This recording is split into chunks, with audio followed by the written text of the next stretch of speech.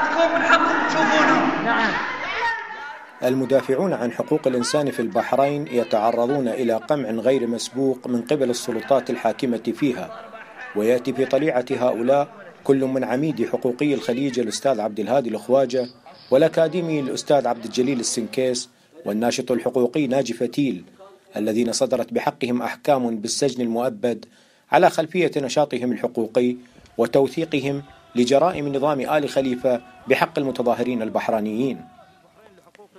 قضية هؤلاء الحقوقيين كانت المحور الأساسي للكلمة التي ألقاها الناشط يوسف الحوري بالنيابة عن التحالف الحقوقي البحراني خلال الحوار التفاعلي الجاري في مجلس حقوق الإنسان في جنيف. لا زال المدافعين البارزين عن حقوق الإنسان مثل ناجي فتيل وعبد الهادي الخواجة وعبد الجليل السنقيس يقضون عقوبات تعسفية بالسجن تصل إلى مدى الحياة في البحرين.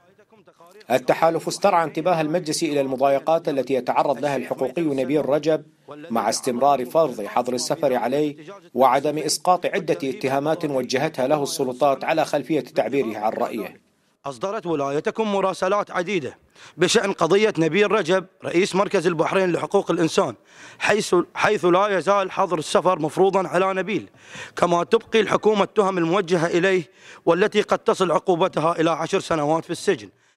ممارسات تستدعي وقفة جادة من مجلس حقوق الإنسان لحمل حكومة البحرين على رفع القيود المفروضة على عمل المدافعين البحرانيين عن حقوق الإنسان. et qui assure le droit de chacun de promouvoir et protéger les droits humains.